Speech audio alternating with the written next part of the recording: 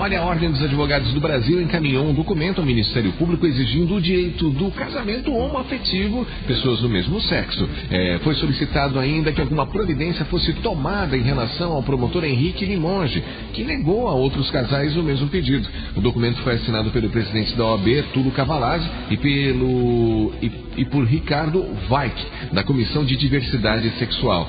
Além do Tribunal de Justiça, o Supremo Tribunal Federal também garante o direito. Além do casamento civil, não foi modificada.